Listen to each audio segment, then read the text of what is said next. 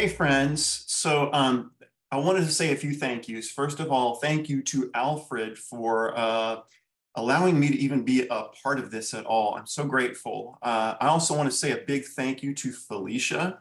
If any of y'all had any idea how bad I am at technology and how much behind the scenes duct tape has been going on to, to make this viable where I can be with you, you'd be amazed. I'm so grateful, Felicia, for you, for for steering all this and for allowing me to be with my friends. And friends, I want to say thank you to you. It's the morning, it's the summer, it's a Saturday, and you're here with me. So I don't take that lightly. I'm grateful. I thank you so much for being here. So let's start our opening uh, time together with a, a concert opener. This is Music Gives. And the text is attributed to Plato. There's, we're not sure if he actually said this or not, but that music gives. And what does it give? It gives soul to the universe, wings to the mind, flight to the imagination, and a life to everything. Essentially, music gives. And those of us who have spent our lives making music understand that gift very well and what a gift music has been for us and that once we've received this beautiful gift that we have a an obligation and even an honor to get that to share that gift with others. And so i was excited to get to write this as a concert opener. I wanted it to kind of have that anticipation feel like when you first sit down in a movie theater and you got your popcorn and your soda and you're ready to go. So this piece is um, set in that great movie mode of Lydian. There's a lot of Lydian in this. So I hope you enjoy our opener, Music Gives.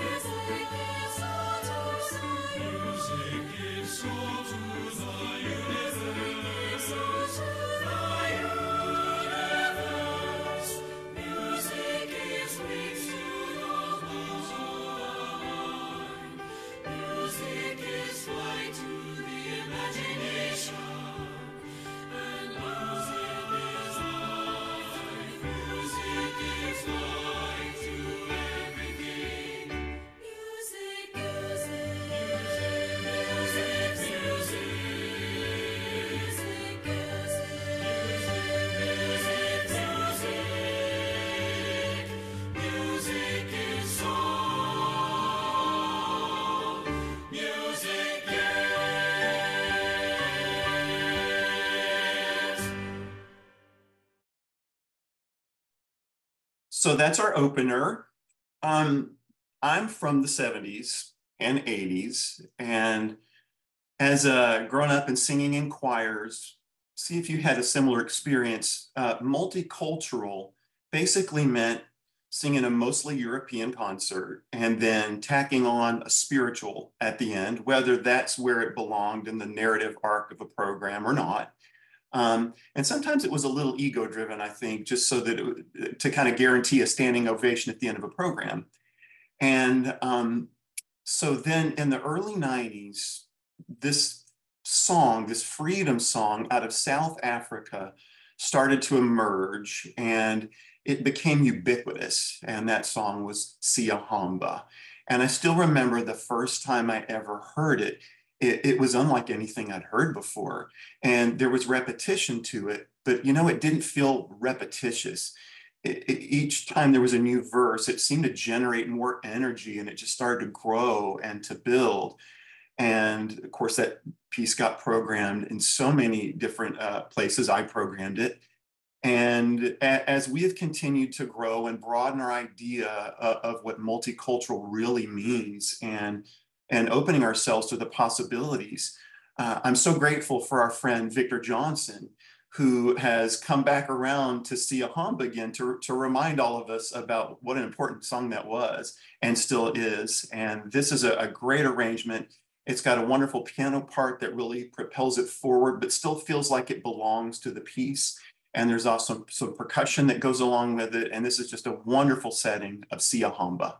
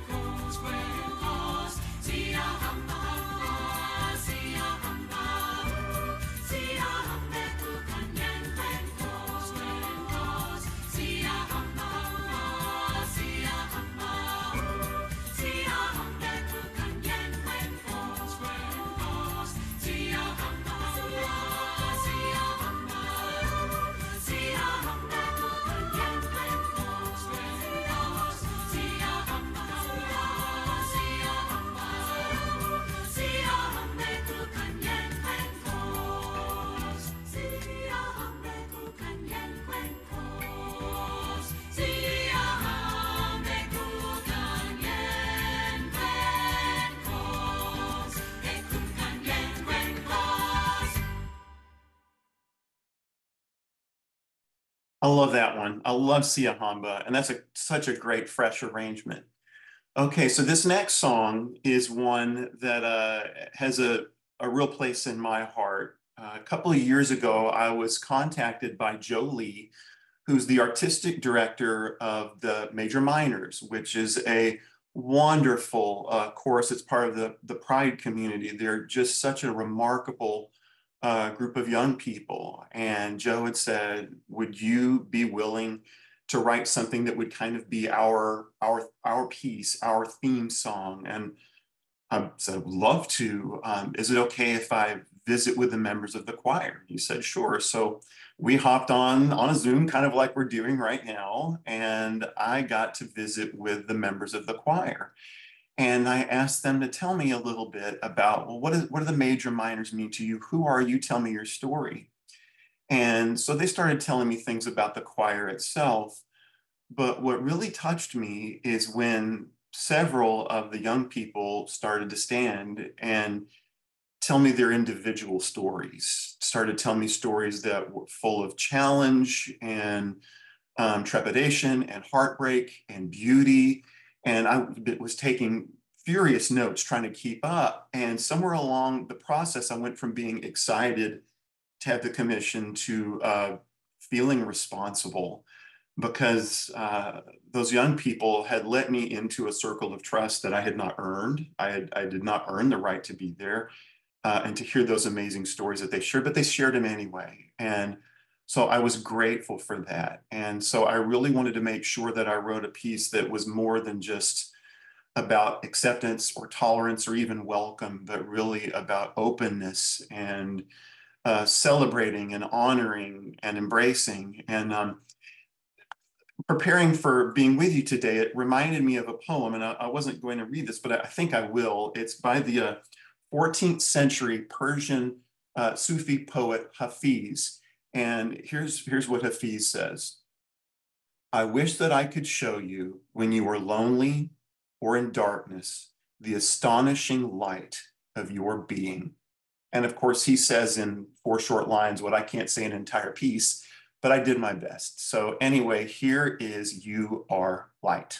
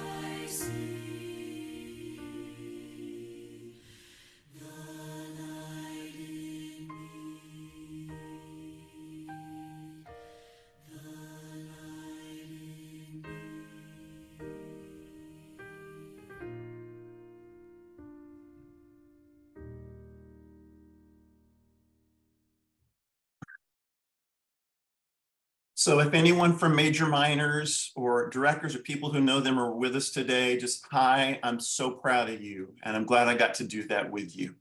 Uh, so our next song, not much introduction needed. It's Clever Chameleon. Any of you that, that you obviously know Alfred, so you know the name Andy Beck. And Andy can write about hope and light and beauty. And Andy knows how to have fun. And I don't say just for fun because fun is important. Sometimes we just need a release valve. We need to be able to smile. We need to be able to laugh. We need to be able to have a good time. And when Andy writes a light or a novelty piece, it's clever, it's fun, it's easy to learn, it's easy to memorize, it's fun to sing. So here is Clever Chameleon.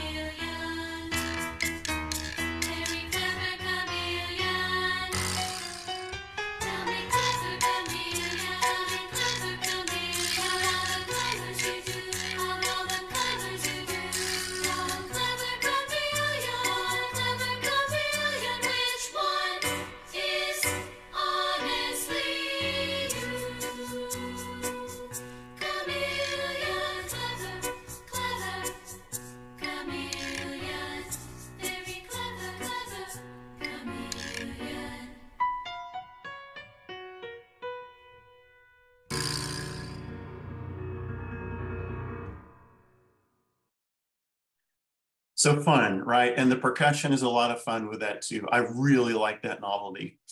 Okay, so one of the things I get to do is work with young people, especially young children, and we talk about pride.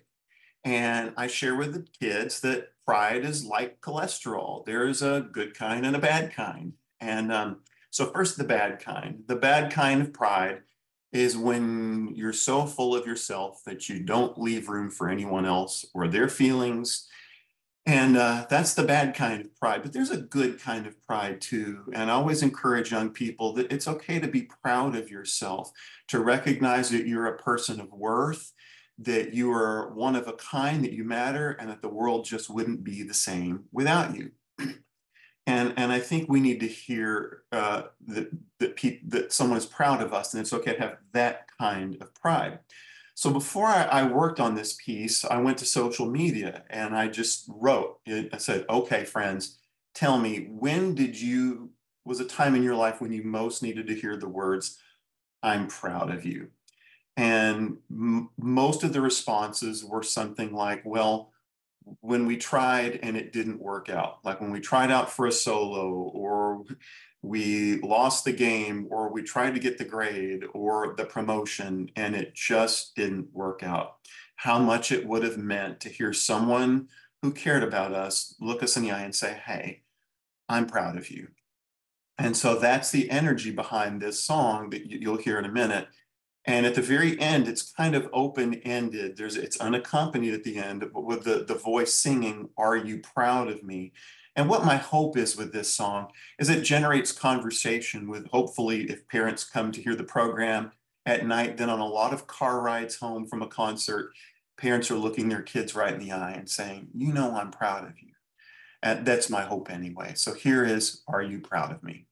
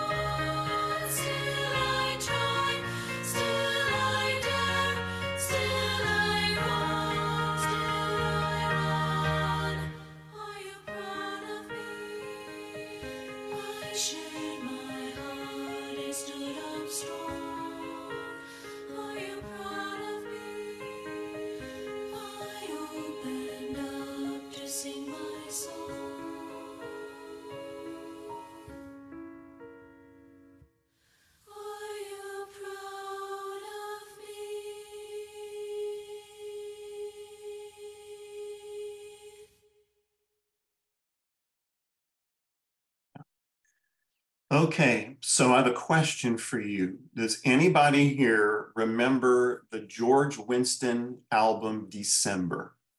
It's one of my all-time favorite albums. And uh, I love it because it's the place where joy and melancholy intersect.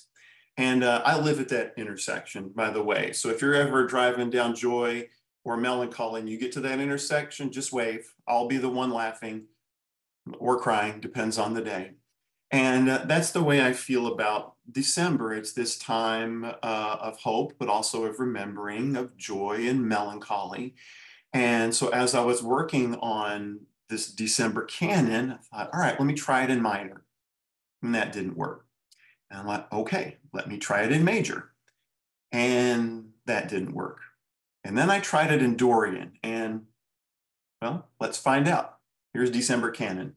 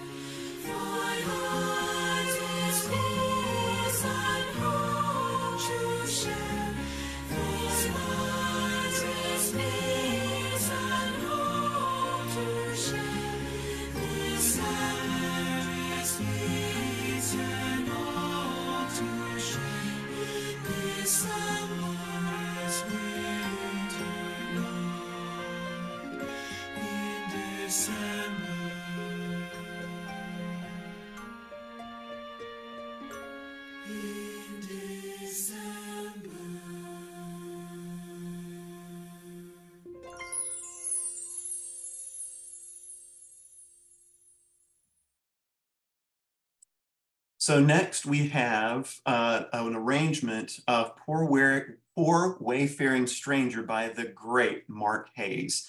And this has a kind of soulful gospel feel to it. There's a lot of uh, call and response to this. So it's a, it's a, explore some different kinds of musical ideas. And every once in a while, I'll ask myself the question, do we really need another so-and-so? And there are several settings from the past of Poor Wayfaring Stranger, but my answer is do we need another one is yes. Um, we have a lot of responsibility as choral musicians to explore and celebrate the new, to find new composers, to uh, celebrate cultures that have not been celebrated before, uh, to, to sing musics of classical uh, folks of the past and also to keep folk songs alive. Back in the day, it wouldn't have been written down on paper. It would have been song leaders and storytellers that would have passed those songs along from generation to generation and always with their own little twist on it. And so, well, we're the we're the song leaders and the storytellers of our cultures now and we have kind of a responsibility to do all of that, which is a lot. Uh, but this is a very fresh, wonderful, insightful arrangement of Poor Wayfaring Stranger.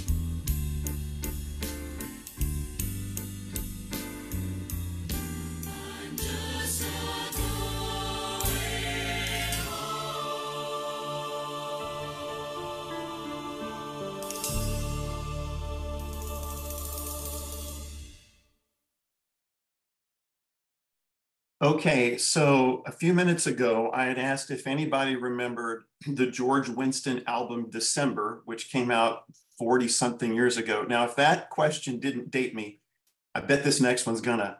Does anybody remember Fred Waring and the Pennsylvanians?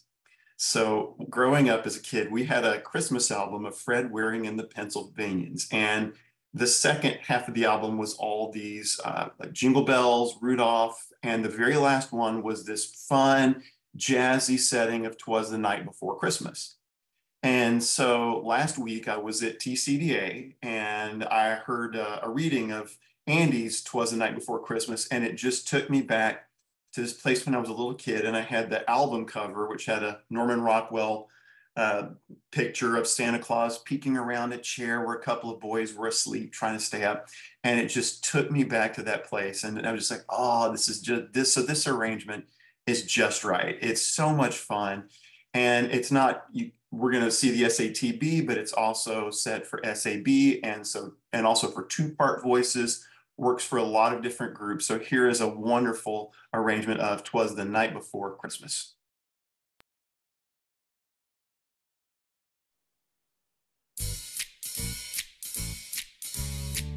Twas the night before Christmas. When all through the house, not a creature was stirring.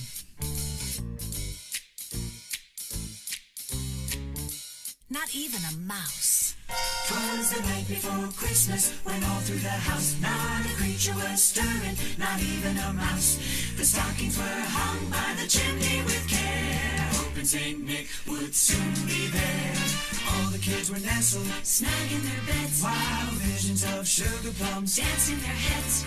Mama in a kerchief and Dad in his cap. They just settled down for a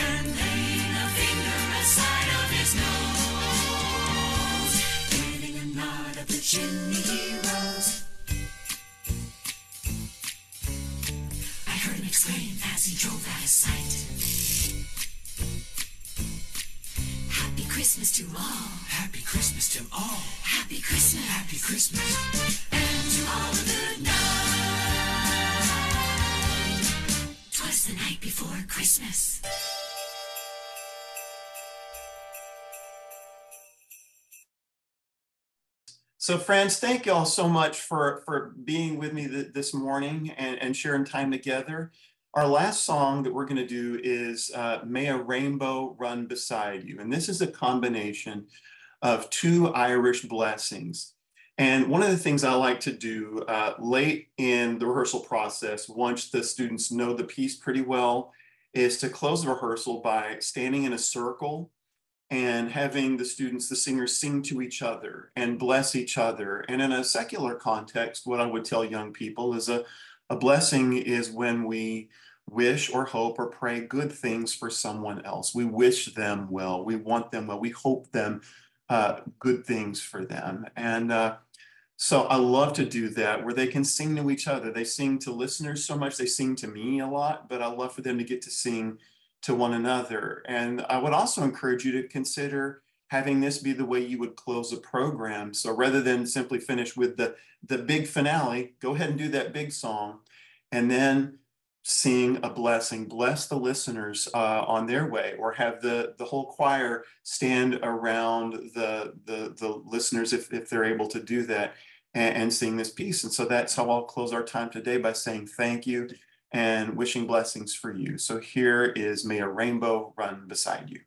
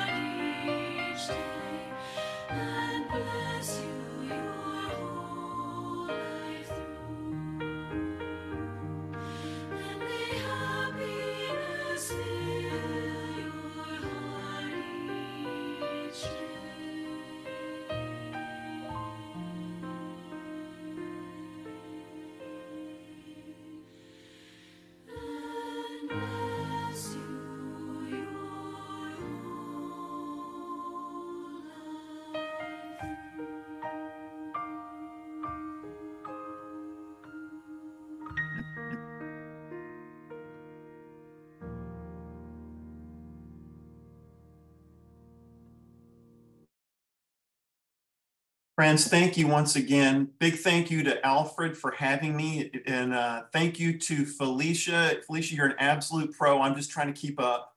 And to those of you who joined us, thank you so much for sharing your time to, to be here with me. That, that it just means a lot to me and I'm grateful. Thank you.